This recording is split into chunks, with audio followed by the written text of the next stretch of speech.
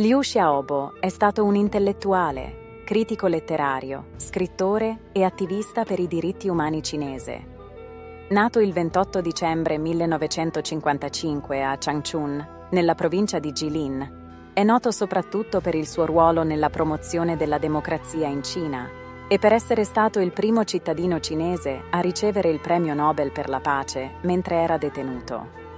La sua vita è stata segnata dalla lotta per i diritti civili e dalla repressione da parte del governo cinese.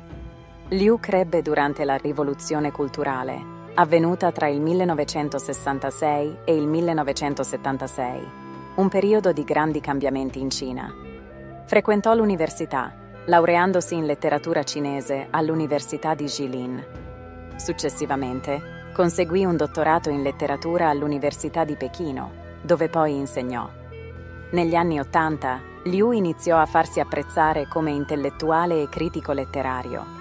Pubblicò numerosi saggi e articoli, criticando sia la letteratura cinese contemporanea che il sistema politico del suo paese. Durante questo periodo, trascorse del tempo per studio in diversi paesi, tra cui Norvegia e Stati Uniti. Liu diventò noto a livello internazionale per il suo coinvolgimento nelle proteste di piazza Tiananmen del 1989. Tornato in Cina dagli Stati Uniti per unirsi ai manifestanti nella loro richiesta di democrazia e di libertà di espressione, Liu svolse un ruolo chiave nella promozione del dialogo non violento tra studenti e autorità. Ma dopo il brutale intervento militare, con l'uccisione di un numero imprecisato di studenti, che pose fine alle proteste, Liu è stato arrestato e imprigionato per propaganda controrivoluzionaria per 21 mesi. Nel 2008 Liu corredasse e firmò la Carta 08, un manifesto che chiedeva riforme politiche, diritti umani e democratizzazione in Cina. Questo documento, ispirato alla Carta 77 stilata dai dissidenti cecoslovacchi negli anni 70, attirò l'attenzione internazionale e portò all'arresto di Liu nel dicembre 2008. Nel 2009 fu condannato a 11 anni di carcere per incitamento alla sovversione del potere statale.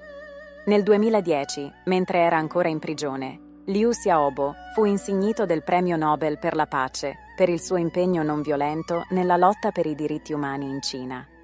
La sua sedia vuota alla cerimonia di premiazione a Oslo diventò un potente segno dell'oppressione delle autorità cinesi.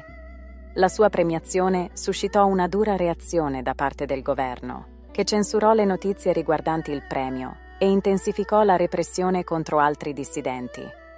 Durante la detenzione, la salute di Liu peggiorò notevolmente. Nel 2017 gli fu diagnosticato un cancro al fegato in fase terminale.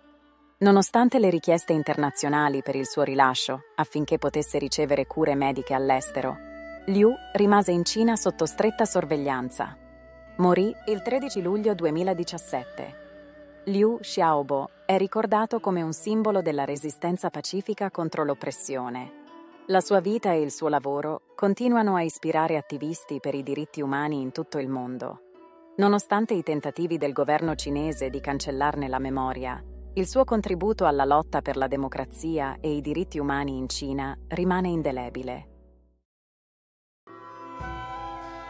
L'uomo non è solo un essere materiale, ma ha anche una spiritualità dotata di senso morale, al cui centro è posta la sua dignità, e il senso di giustizia origina naturalmente dal valore attribuito alla dignità umana. Quando un sistema politico o uno Stato permette a ogni uomo di vivere con dignità, ne ottiene l'appoggio spontaneo, proprio come illustra il concetto di virtù politica di Tommaso d'Aquino, il governo virtuoso non si basa sul mantenimento dell'ordine, ma trova il suo fondamento nella dignità umana.